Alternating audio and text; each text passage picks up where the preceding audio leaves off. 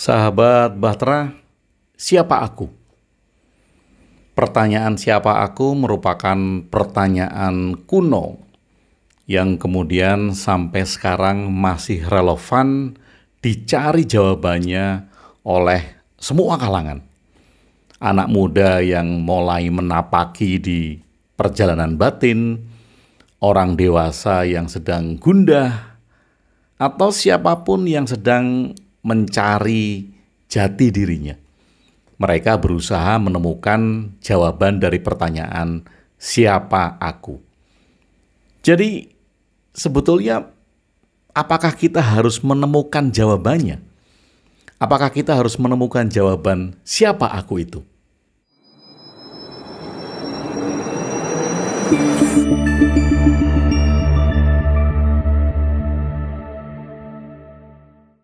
Sahabat Bahtera, malam ini saya terpikir untuk membuat tema siapa aku. Tema konvensional ya, dan banyak diulas oleh banyak orang tentang siapa aku ini. Tapi bagi saya, ketika kita mengulas siapa aku, kemudian kita terjebak. Terjebak dengan definisi tentang aku itu. Aku ini siapa? Aku ini apa? Wujudnya apa? Dan kita terjebak di sana. Saya mengatakan terjebak karena banyak dari kita yang hanya meminjam pengetahuan akhirnya akhirnya hanya meminjam pengetahuan dari buku-buku yang dibaca, dari ceramah-ceramah yang didengar, dari pengetahuan-pengetahuan yang didapat entah dari mana saja. Kemudian definisi siapa aku ini dipinjam sehingga seolah-olah ketika dia menjawab siapa aku ini terlihat keren, terlihat filosofis, terlihat spiritual, terlihat tinggi tentang pencapaiannya akan aku. Mungkin, mungkin saja. Atau kemudian banyak yang mengatakan aku adalah Tuhan. Aku adalah kekosongan. Aku adalah kasunyatan. Aku adalah ketiadaan. Aku adalah tidak terdefinisikan. Bagi saya ini sangat filosofis sekali. Dan ketika kita menjawab dengan definisi-definisi filosofis ini, kita tidak akan bisa membumikan siapa aku ini lalu kemudian kita tidak menemukan makna implementatif. Kita tidak menemukan apa pun yang bisa kita implementasikan di dalam kehidupan kita. So what kalau kemudian Anda menemukan aku adalah Tuhan? So what kalau Anda menemukan bahwa aku adalah ketiadaan? So what ketika Anda menemukan jawaban aku adalah suwung kasunyatan. Lalu kemudian ada yang bertanya, kalau dikatakan siapa aku? Coba tunjukkan siapa aku. Kemudian tunjuk ini aku. Loh itu kan badanmu, badanmu bukan kamu. Badanmu, badanku bukan aku. Kemudian kalau menunjukkan ini aku, loh ini kan kepala, kepalaku bukan aku. Pikiranku, pikiranku bukan aku. Karena ada yang berpikir, ada yang difikirkan, dan ada yang merasa bahwa dia berpikir. Dan kita terjebak di sana. Sekali lagi terjebak dengan jawaban-jawaban yang kita anggap itu terlihat keren, terlihat spiritual, terlihat filosofis, tetapi kalau bagi saya, dari sudut pandang saya, kita jarang sekali kemudian mengimplementasikan dari apa yang kita temukan itu. Kita hanya bangga, kita hanya senang ketika kita bisa menjawab dengan jawaban-jawaban yang terlihat sangat wow, keren. Padahal itu kita pinjam, kita pinjam dari pengetahuan yang lain, kita pinjam ketika mendengar ceramahnya si A, kita pinjam ketika membaca bukunya si B, dan banyak banget. Lalu kita lupa dan kita hanya bangga dengan pengetahuan akan aku. Sekali lagi, kita hanya bangga akan pengetahuan tentang aku. Implementasinya nggak ada. Tetap aja kayak gitu. Nggak ada yang berubah ketika sudah merasa menemukan tentang aku itu. Aku yang banyak tadi ya, aku Tuhan, aku kasunyatan, aku suwung, aku ketiadaan, aku tak tersentuh, ah banyak sekali. Dan apa yang bisa diterapkan di dalam pekerjaan? Apa yang bisa diterapkan di dalam keseharian? Apa yang bisa diterapkan di dalam kehidupan sehari-hari? Ketika Anda merasa sudah menemukan jawaban siapa aku. Sahabat Bahtera, mari kita bumikan siapa aku ini. Karena saya masih banyak melihat pelaku-pelaku pejalan batin, pelaku-pelaku meditasi, pelaku-pelaku manusia-manusia yang mengatakan berjalan ke dalam dirinya, kemudian merasa menemukan siapa aku, dan tidak implementatif. Artinya, apa yang bisa diterapkan di dalam semua lini kehidupannya? Nah, sahabat Bahtera, Maksud saya demikian. Kita terjebak dengan definisi tentang siapa aku. Dan kita melupakan makna progres tentang siapa aku. Apa yang saya sebut makna progres? Kalau makna definisi adalah tadi ya. Aku adalah Tuhan, aku adalah keheningan, aku adalah kasunyatan, aku adalah ketiadaan, aku tak tersentuh apa pun. Aku tidak tersentuh oleh ombak-ombak kehidupan. Puitis banget. Boleh sih, itu nggak salah. Sekali lagi, itu semua tidak salah. Tapi kalau dari sisi saya, semua itu kurang implementatif karena kita tidak membumikan siapa aku ini. Kita mulai dari sini. Kalau kita memaknai tentang makna progres, Artinya, yang kita pentingkan bukan definisi akhir tentang siapa aku.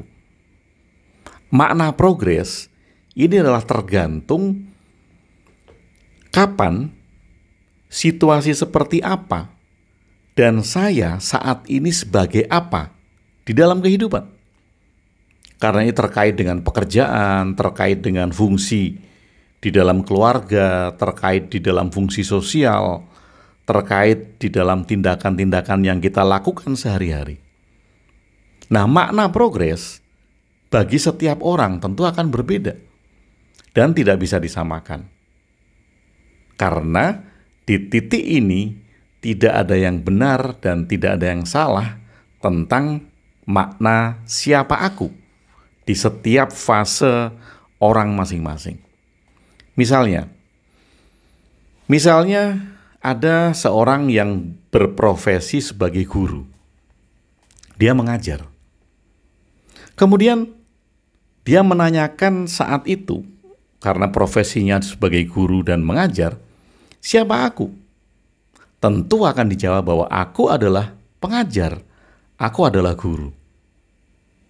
Kemudian ada seorang yang bekerja sebagai montir kendaraan, bengkel.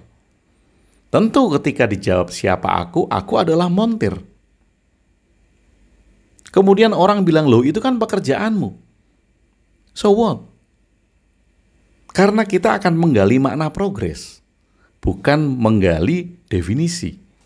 Kita akan menggali makna progres yang implementatif dan berguna bisa diterapkan di dalam setiap sisi kehidupan kita saat ini. Ada seorang mahasiswa, pelajar. Siapa aku? Aku adalah pelajar. Ada penulis. Ketika ditanya siapa aku, aku adalah penulis. Orang ditanya lagi ketika dia jadi pedagang, siapa aku? Aku adalah pedagang. Aku adalah ini, aku adalah itu, aku adalah ini. Dan segala macam. Dan tentu akan berbeda-beda. Ada orang yang mungkin mengatakan bahwa aku adalah pekerja keras. Oh, it's okay. Aku adalah pengejar kekayaan. Oh, is okay. Kalau memang itu disadari sebagai akunya saat itu, nggak apa-apa karena kita akan mendalami makna progres. Nah, gunanya untuk apa? Gunanya agar kita tahu batas-batas yang kita lakukan sebagai aku kita saat itu.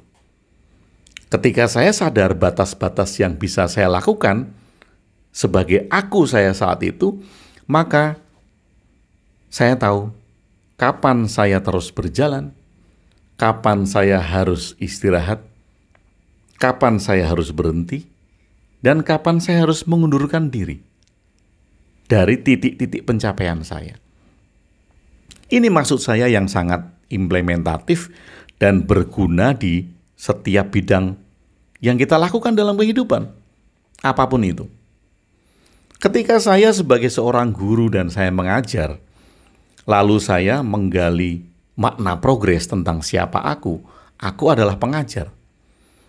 Nah, ketika aku menyadari bahwa aku adalah seorang pengajar, maka akunya ini akan sadar kapan terus menjadi seorang pengajar, kapan istirahat sejenak sebagai pengajar, kapan berhenti sebagai pengajar, dan kapan berbalik arah dari pengajar.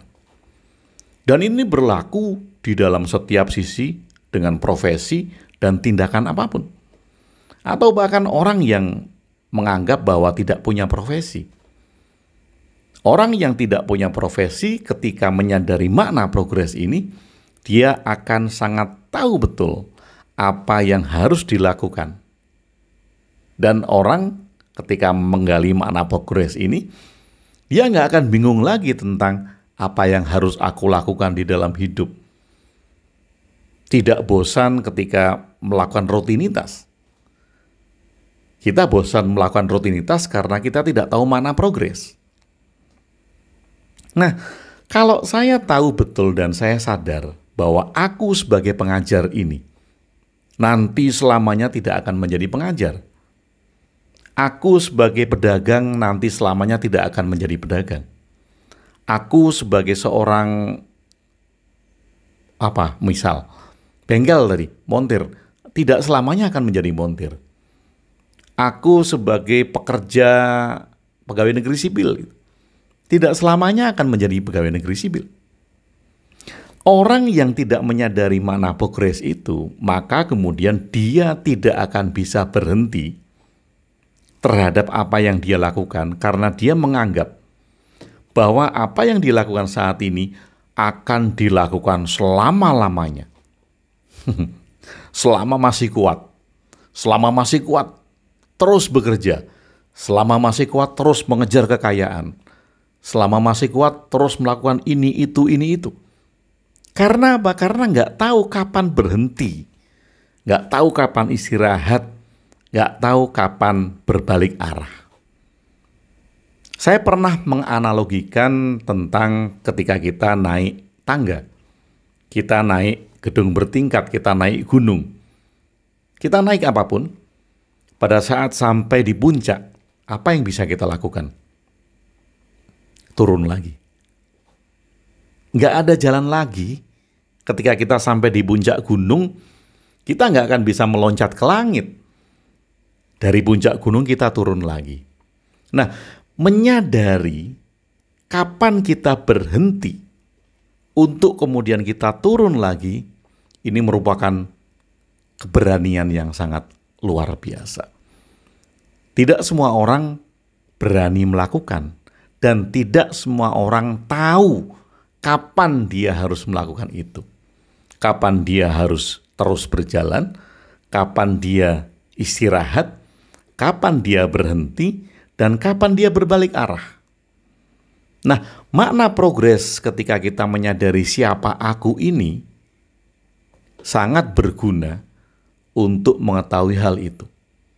Karena kita tidak akan selamanya bisa melakukan tindakan atau pekerjaan kita saat ini. Ada saat-saat kita harus berhenti. Nah, bila ada orang ngotot bahwa Saya akan bekerja seperti saya hidup seribu tahun lagi. Nah, bagi saya itu orang ngotot. bagi saya itu orang yang tidak tahu siapa dirinya. Orang yang tidak menyadari siapa aku. Karena dia menganggap bahwa dia akan bisa melakukan itu seribu tahun lagi. Sahabat Bahtera, kalau kemudian kita menyadari makna pokres dari siapa aku, kita akan bisa mengatakan bahwa aku cukup. Kita kurang berani untuk mengatakan bahwa aku sudah cukup. Kenapa? Karena sebagian besar kita sudah diracuni oleh kalimat-kalimat motivasi bahwa kalau bisa mencapai satu, kenapa kita cukup dengan dua? Kalau kita bisa mencapai sukses prima misalnya, mengapa kita cukup dengan sukses biasa? Kita terlalu banyak diracuni itu sehingga terjadi kehidupan yang kompetitif. Kita saling bersaing. Bukan berkolaborasi, tapi kemudian kita saling bersaing saling ingin mengalahkan satu dan lain. Nah, kalau kita merasa cukup, kita juga akan menyadari bahwa kita butuh. Kebutuhan kita apa? Bukan keinginan ya. Saya cukup, saya butuh, kemudian saya penak, kemudian saya perlu, kemudian saya mesti, dan kemudian saya benar. Ini adalah kata Ki Ageng Surya Mentaram. Ki Ageng Surya Mentaram mengatakan bahwa ada sak cukupe, sak butuhe, sak penae, kemudian sak perlune, sak mestine dan sak benere. Menyadari siapa aku, kita akan tahu bahwa kapan kita cukup. Kita cukup nggak? Kadang seperti tadi, kita merasa nggak cukup makan ini nggak cukup cari lagi. Uang segini nggak cukup cari lagi. Kapan kita cukup? Kapan kita tahu bahwa kita butuh? Kapan kita tahu bahwa kita perlu? Kapan kita tahu bahwa itu adalah mesti yang kita lakukan? Kapan kita tahu bahwa itu adalah pena pena itu adalah nyaman yang kita lakukan. Dan kapan kita tahu bahwa itu adalah benar yang kita lakukan Walaupun bukan susah ya, sahabat Batra, ini bukan susah, tetapi tentang keberanian. Kita berani tidak mengatakan bahwa aku cukup. Kita berani tidak mengatakan bahwa aku butuh, bukan aku ingin. Kita berani tidak mengatakan bahwa, oh iya, ini adalah nyamanku, penakku. Oh iya, ini adalah perluku. Sak perlu nih, ini adalah perluku. Oh iya, ini adalah mestinya aku. Dan oh iya, ini adalah benernya aku. Sahabat Batra, kita kadang terjebak dengan pencapaian, pencapaian, pencapaian, pencapaian, sehingga kita tidak berani dan takut mengatakan bahwa I'm enough. Saya cukup. Saya cukup. Saya cukup makan tiga kali sehari, saya cukup makan dua kali sehari, saya cukup makan dengan lauk sayur, tempe, tahu, telur.